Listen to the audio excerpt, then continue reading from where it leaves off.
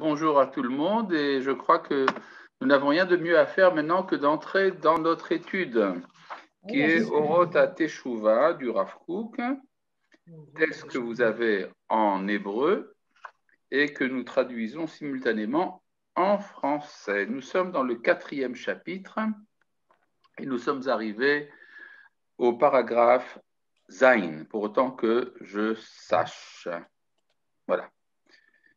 Euh, Nishmata shel Knesset Israël De quoi s'agit-il? Il s'agit de la motivation de la Teshuvah. Alors, vous savez que on a déjà vu qu'il y avait des motivations personnelles de toutes sortes, la motivation euh, biologique, qu'on appelle la Teshuvah, euh, la teshuva goufanite. Il y a également une Teshuvah psychologique, une, une Teshuvah religieuse, une Teshuvah qui vient de l'intelligence, une Teshuvah pour un péché, une Teshuvah disons, euh, une teshuva stamit klalit, c'est-à-dire une, teshuva qui n'est pas orientée vers un péché particulier. Et nous avons également une teshuva pour des raisons, on pourrait dire, morales, dans le sens où la teshuva est nécessaire pour s'associer à la finalité nationale du peuple d'Israël. C'est-à-dire le peuple d'Israël représente une, une entité euh, est-ce qu'on on a cessé de me voir là à nouveau? Non, on vous voit très bien là. D'accord, d'accord, d'accord. J'ai eu l'impression comme ça. Euh, non, c'est très bien. Euh, la nation d'Israël est une entité nationale très différente des autres entités, tandis que les autres nations vivent par une sorte, ce qu'on appelle une sorte d'égoïsme collectif pour des raisons, disons, de puissance. L'union fait la force.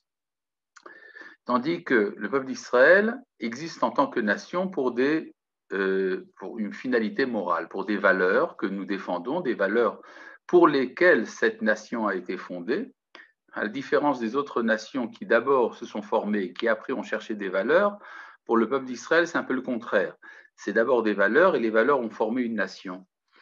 Et donc, euh, si je veux m'attacher à l'idéal national d'Israël, je suis obligé d'abord de faire teshuva, de m'adapter aux valeurs que représente cette nation dans l'histoire. Et il y a, si vous voulez, à la fois une critique et un encouragement du sionisme laïque, le sionisme laïque politique.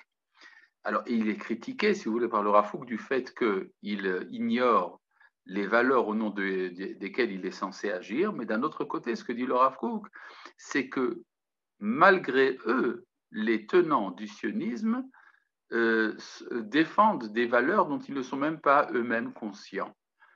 Euh, par exemple, euh, je, crois avoir rappelé ici une parole de l'écrivain israélien Amos Oz qui disait Le Rav pense que je fais partie du processus de la Géoula. Eh bien, sache, toi, le Rav que je ne fais pas partie du processus de la Géoula. Mais ce que Amos Oz ignorait, c'est que son refus de faire partie du processus de la Géoula fait également partie du processus de la Géoula, c'est-à-dire qu'en tant que sioniste, il développe, il, il promeut euh, à son insu des valeurs qui sont portées par l'identité nationale d'Israël. Et là, je reviens donc maintenant au texte du Rav qui dit ça à sa manière, nous allons le voir. Nishmata shel Knesset Israël yatzedek amuchlat. L'âme de l'Assemblée d'Israël est la justice absolue.